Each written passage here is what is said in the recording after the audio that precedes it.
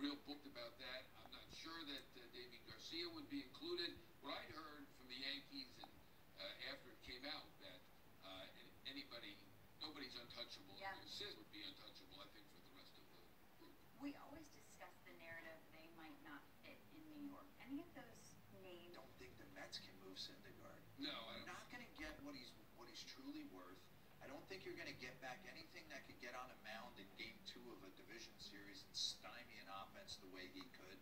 I think with him and De, him and Degrom, you go into next season feeling Okay. Zero said it earlier.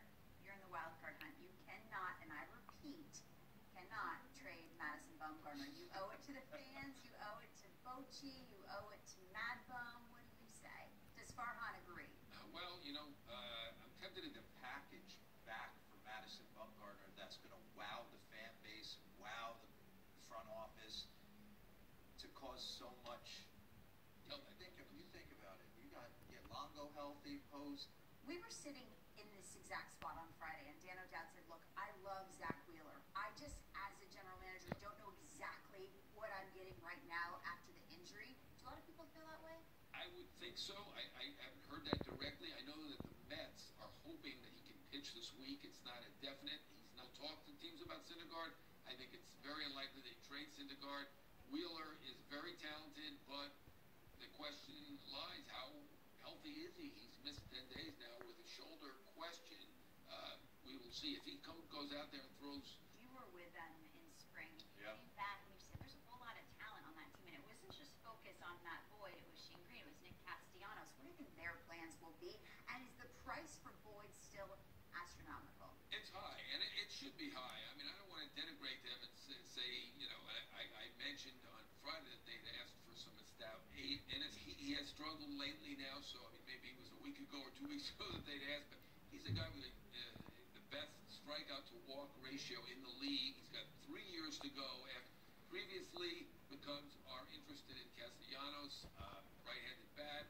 Uh, they want a bat. Uh, I've heard the Rays are another team free agent after the year. I'm not sure it's going to be a major haul.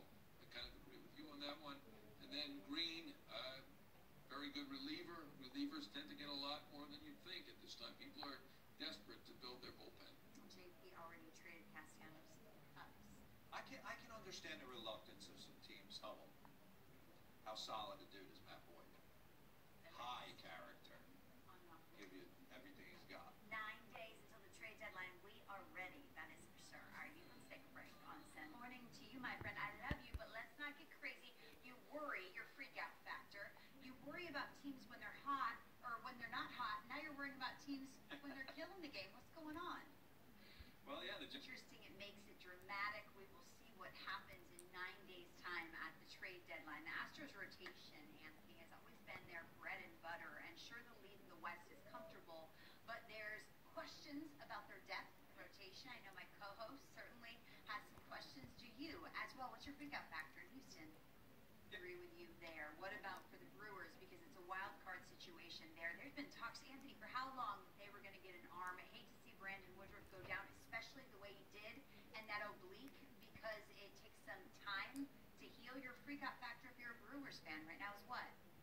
Out of 10, that should have been your finale. Where do we even go from there? What about the AL Central? Because your Indians, my friend, are breathing down the necks of the Minnesota Twins. It's a three-game deficit right now. It was 10 games in the middle of junior freakout factor for Twins fans is high. To you, how about that? That's right.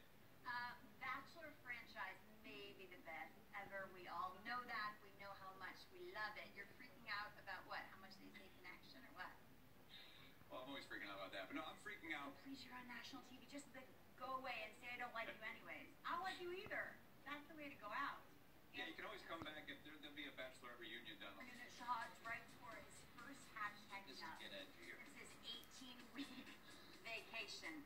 Pete Alonso, aka Polar bear. break that. Imagine it ricochets off. You're the laughing stock of baseball. Right about Oh, that's a We, we're leading with it, Okay. not if goes doing and you gotta go on 10 day IL.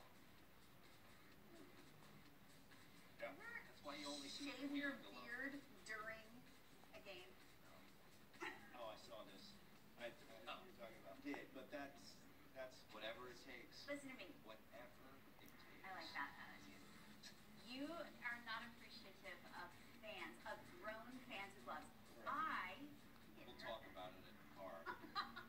I have to make I him know, play. and His that, son was in that situation, I kind of agree with you.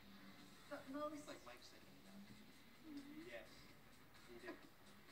so MLB tweeted over the weekend, which iconic outfield catch is the best. Did you guys see this? Yes. Matthews Jr. one I was playing third base for against Mike Lamb, Houston. That's the greatest catch that I've ever seen. great. But again, the term is iconic, so that's why I would go with the Situation. Yes. You iconic. Isn't Spellcheck the best or the worst ever? Because Peter Gammons, our guy, uh, tweeting this out not too long ago, kind of comparing and showing all the metrics. wins above Obama. Wins above Obama. The tremendous staff that is now going to be implemented.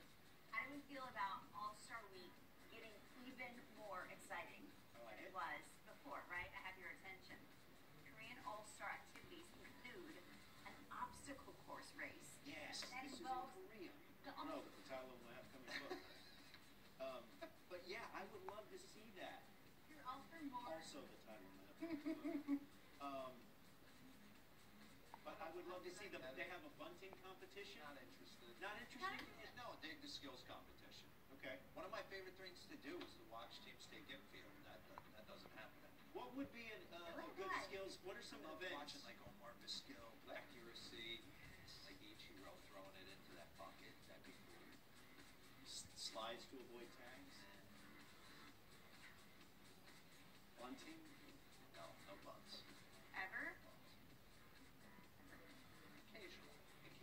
Occasionally. Break up a no hitter?